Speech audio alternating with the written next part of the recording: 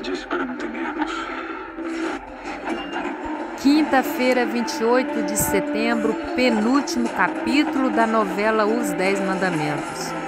Balaque, desesperado, diz para Azul que os hebreus não vão vencê-lo, pois ele é o rei de Moabe.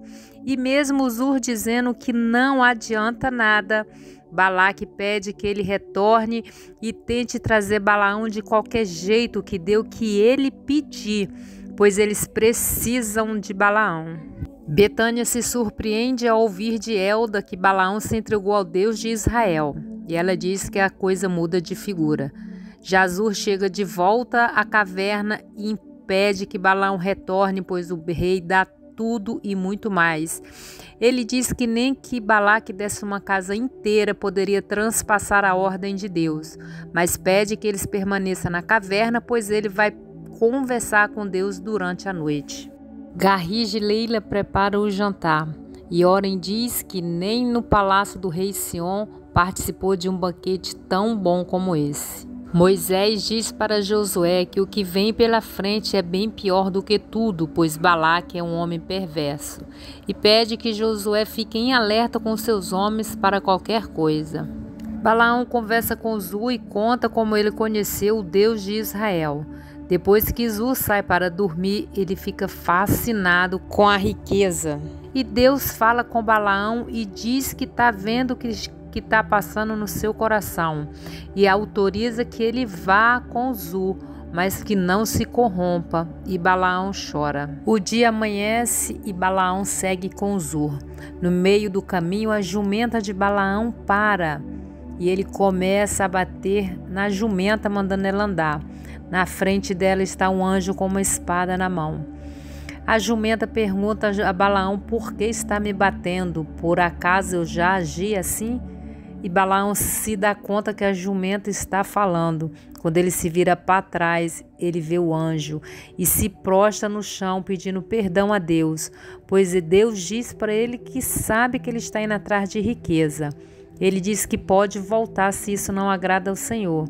E Deus diz: Vá, mas só fale o que eu mandar. Talita agradece a Deus por tudo e pede apenas uma coisa, que ele esclareça a verdade sobre sua mãe. Depois ela mostra os belos tecidos para as mulheres hebreias. Balaque está ansioso porque Zu não volta, e Elda disse não é hora de mandar Betânia levar um recado para Moisés e tentar fazer um acordo de paz. Ele diz que não, e Zu entra e diz que Balaão veio com eles e os aguarda na sala do trono. Na sala do trono, Balaque pede para Balaão amaldiçoar os hebreus. Ele diz que fará o que Deus mandar. Logo em seguida, ele conhece Cosbe e ela diz que ele não parece com o feiticeiro tão temível das histórias. Betânia chega e pergunta se é verdade que ele está servindo ao Deus de Israel. Moisés diz para Josué não temer, pois quem está na peleja é o Deus Todo-Poderoso. Betânia diz para Balaão que ele não a engana, pois ele só pensa em riqueza. Ele diz que a filha dos dois está viva em algum lugar. Balaque tenta fazer ofertas a Deus de Israel, mas Deus abençoa o povo hebreu e ele implora a Balaão que vá em outro local para tentar fazer oferendas e amaldiçoá-los. Balaque se enfurece e manda Balaão embora. Ele diz: Eu te levei a três lugares para amaldiçoar os hebreus e você os abençoa três vezes. Então Balaão se despede de Zu e sai. Já no palácio, Zu fala para Elda que Balaão ficou tentado e fala sobre o poder de Deus. Ela diz que está com medo e diz que tem que fazer uma oferta aos deuses e tem que ser Cosbe, a primeira sacerdotisa de Acerá. Zur grita e diz que jamais permitirá que sua filha seja sacrificada. Balaque escuta tudo e diz que foi traído por 40 anos. Enfurecido, ele mata Elda com uma estátua de ferro e parte para cima de Zu. Mas U toma a estátua dele e mata Balaque. Zu ordena que mate a guarda real do rei e senta no trono.